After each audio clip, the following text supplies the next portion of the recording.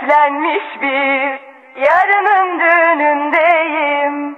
Kim bilir belki doğmamış melekler rolündeyim.